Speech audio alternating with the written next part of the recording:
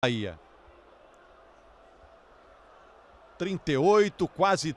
Agora 39 minutos no segundo tempo. O único gol do jogo marcado na etapa final. Um gol de cabeça do Luan. Depois de um cruzamento do Douglas Santos. Olha o Bahia chegando, toque pro gol! Gol!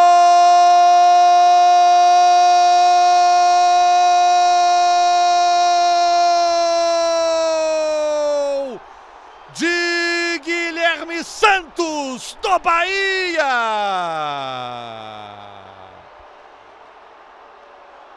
Lançamento do Wellington.